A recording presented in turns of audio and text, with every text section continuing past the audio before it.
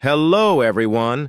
In this video, we're going to walk you through the simple steps of creating a new work profile on your Android device. So let's get started.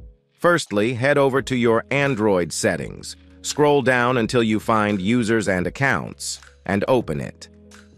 Within Users and Accounts, look for the option labeled Multiple Users at the top. Once you've located Multiple Users, go ahead and click on it. You'll see that you are currently the administrator and the sole user on your smartphone. To add a new user, click on the plus icon in the top right corner. A pop-up will appear. Click on Add. Now, you'll need to create a username for your new work profile. For example, let's call it Work.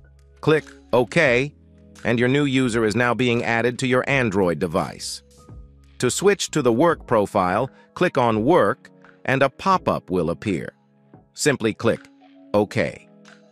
Follow the on-screen instructions by clicking Next, and your work profile will be created.